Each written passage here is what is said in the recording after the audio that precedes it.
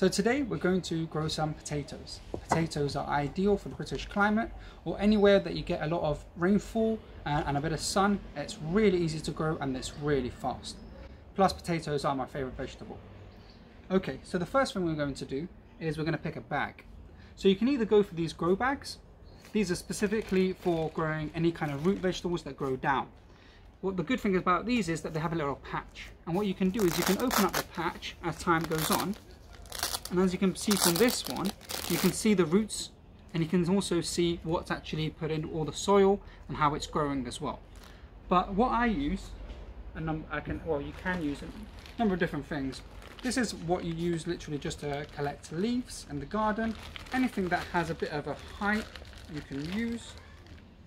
Show you this one where it's got a bit of a height and it's adjustable so it's perfect. Or you can go for something really simple like an IKEA bag anything that's got a bit of strength, a bit of plastic around it, and it can actually push out over time as the potatoes grow. What I'm going to use, and it's really easy to get, is these recyclable, um, massive, um, heavy duty bags. So, got one here. Um, right, so you can get these from any um, place, any, you can, any superstore you can easily get them from. So it's really easy, I've got about 20 in this bag and I'm going to um, show you this one here. So the first thing you do is put some of your compost in, crumble it as you go along. What you need to do for potatoes, because it's a root vegetable, it needs to be really soft, it needs to be loose so it can actually push through the soil and actually grow. If it's hard soil that you get from the garden, it might not be as good um, if it's any hard soil because it just won't be able to grow as easily. You can still do it, but you might just get a smaller yield and smaller potatoes. So here we're just growing some, putting some compost in. We're going to put about about 7 to 10 centimetres of compost in at first.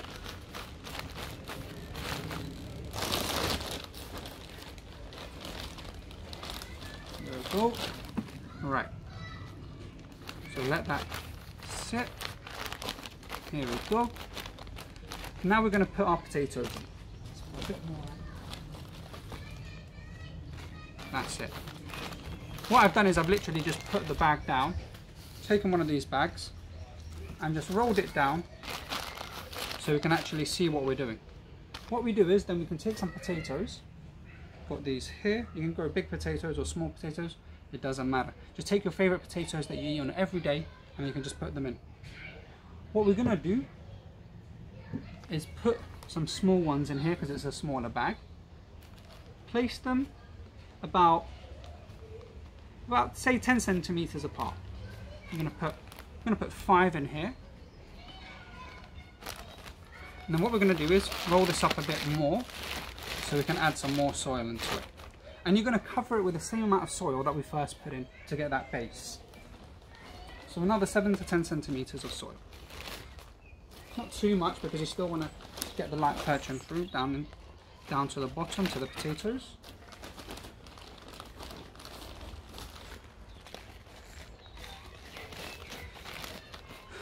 Right, a little bit more. Perfect. And the good thing about it is, as they grow, it'll push out to the sides. Right. You can, what you can do is, these were literally just in the garden, I had them earlier. This was literally just, I, was, I put in the, for compost, it was little potato skins, and they literally just grew these. Over time, it's just grown. But what we're going to do is use whole potatoes because we want to get the good yield from these. Put these to the side. Okay. What you need to do is water it now. Put some water here. Put some water on top. This is some of the water I was just using in the garden earlier. Put some water down. What you need to do is keep it well watered and put it in a sunny place but before that, in order to make sure that the potatoes don't rot and the soil doesn't rot, we need to put some holes in. Holes in so that all the excess water can escape. So go around and poke it full of tiny little holes, not too big to let the soil out. Perfect. And what we're going to do is we're going to put these to the side in some sun and it will grow over time. If you can, if you have any older potatoes, ones that already have some sprouts lifting up, like these ones, you'll be ahead. It'll be it'll ensure that it grows a bit faster. And now we're going to show you some potatoes that we made previously. So this potato sack here, this was done about three weeks ago. Um, you can see that some of it's grown quite high, but these little tiny ones here, they've only just started to sprout up. But from the where we've located the potatoes, as I showed earlier, um, for planting them, you can see that they've kind of grown in different spaces, not too clumped up together.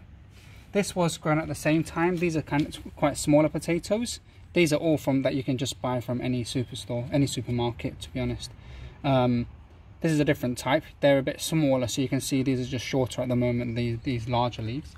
And then this one, this one was grown about just under two months ago. Um, you can see that it's quite big. If I show you inside here, you can see that it's grown quite a lot at the moment. The leaves have grown quite up. It's completely covered this whole sack. This will happen with the same for these ones as well. Um, what we need to do now with this one is in order to make sure these stems are stable, we need to fill up a bit more soil. So the one third that I was talking about previously, it's another one third that we've got to add here so that any um, potatoes that sprout from these leaves can actually regrow as well. So you're going to get um, potatoes at a higher level as well. And these leaves will constantly carry on growing higher and higher. And what I'm going to show you is another potato sack that we've done. This is one that we did literally with an IKEA bag. So we've got an IKEA bag. That's why I tell you guys that you can use any kind of bag. Got the bag, filled it up with some soil, put the potatoes in, put another um, amount of soil on top about seven, eight centimeters. And look, they've started to grow some potatoes already in here and here. Not many has grown here at the moment, but you can see they're starting to peak up from here. There's the one tiny one over here, but they're slowly starting to come up. So any kind of um, bags you can use and shows it just from this one. Now we're going to take our biggest potato plant here and what we're going to do is we're going to add that extra one third of compost that we said that needs to be added here to allow the stems to grow further and potatoes to sprout from the sides.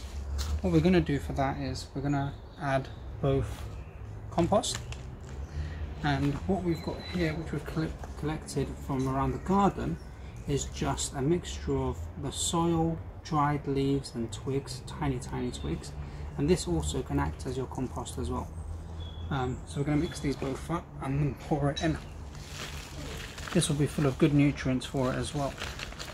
So just find the space around it and put in as much as you can to get that one third up. It's probably around 7 to 10 centimeters that you need to put into it. And the good thing about using these dried leaves is that when you want to actually take out your potatoes, you don't have to dig through the soil. They'll be much more easily accessible. I'm going to pour all that in. Make sure you get it in everywhere.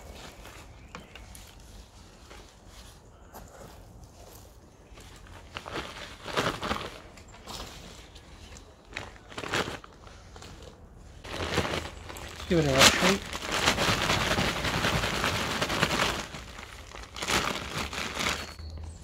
Then perfect.